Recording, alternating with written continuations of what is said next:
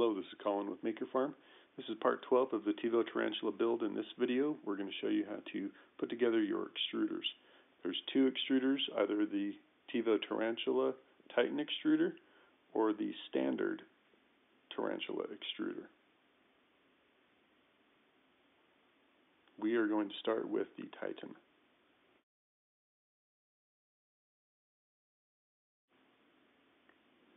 In the Titan extruder bag, you're going to find this little tiny gear that you will press onto your motor shaft.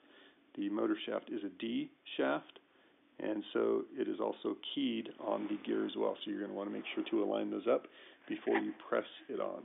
After that, get the plastic mount, and then we're going to get the uh, Titan assembly. Position it just like it's shown here in the video, and install three of the long bolts.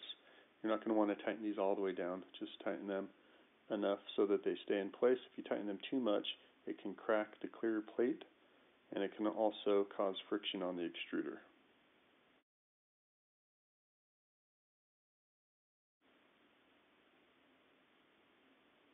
Once tight, go ahead and use the thumb wheel and make sure that it turns freely and that you have no obstructions.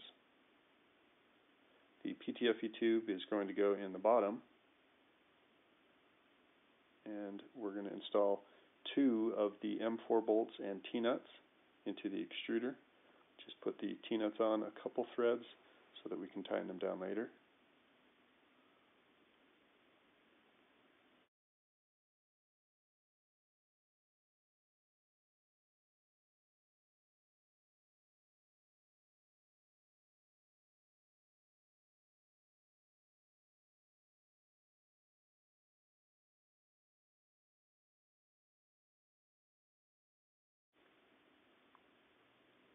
To install the Titan on the frame, I like to first, of course, align the T-nuts and then install it on the top part. As shown here in the video, the same side that has the Z-motor bracket. And then you can go ahead and tighten down those M4 bolts. The extruder is not going to be fixed into place. It will move around a little, and that's okay.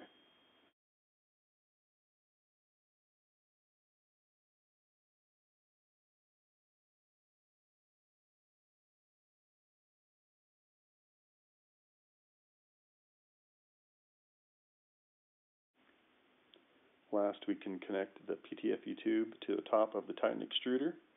On the other end, we're going to want to make sure that we have a perfect 90 degree cut as it goes into the extruder. So if it is at an angle at all, you want to make sure to get a flat razor blade and make that a perfect 90 degree cut before you install it.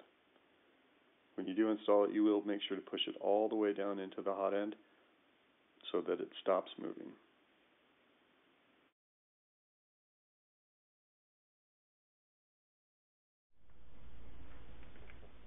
Section is going to show how to put together the standard Tarantula extruder, which is bag B-7-1. You can go ahead and open that up. This is the brass gear that we're going to use instead of the one that was pressed on for the Titan. There's going to be two set screws on it.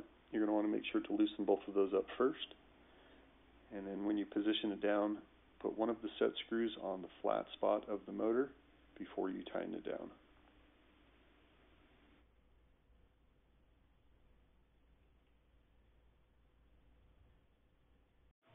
Next thing we're going to do is we're going to mount the metal bracket to the frame. You're going to want to get the two M4 bolts and T-nuts. Go ahead and install one of those into each of the two tracks of that metal mount. Then we will align the T-nuts and install it in the upper section here of the frame, close to that Z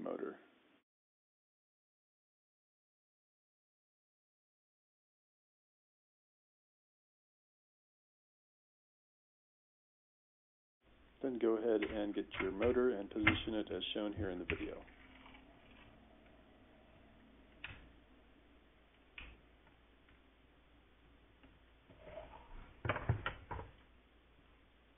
To start, we're going to assemble the um, top section, the gold piece. Go ahead and screw in that PTFE fitting.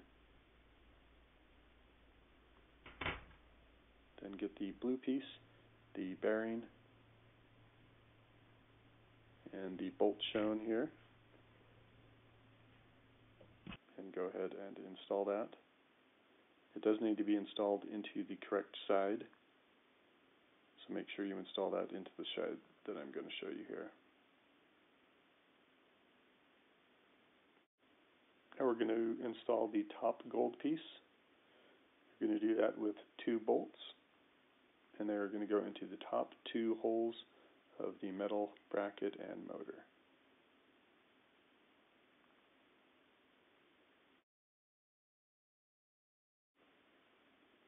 Now we will install the idler part. Do want to start a bolt in through the bottom there. This is going to retain the spring. And then go ahead and get this bolt and install it into that bottom right motor hole. When you tighten this one down, you don't want to tighten it all the way. We do want to make sure that this blue idler arm still moves freely. If it doesn't move, you put it in too tight, then the spring will get installed into the groove in the upper gold portion.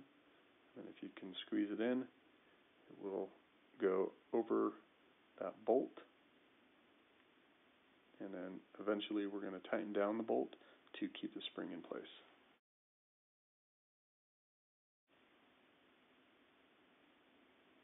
Sure that it moves freely and then the last thing we're going to do is install the PTFE tube into the push fit fitting that is in the gold section of the extruder.